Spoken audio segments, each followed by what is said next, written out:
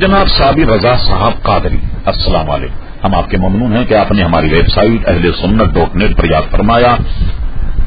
आपका सवाल मौसू हुआ, जवाब हाजिर। आपने पूछा कि मैंने सुना है कि कोका कोला में 20 फ़ीसद अल्कोहल होता है। क्या अल्कोहल का पीना जायज़ है?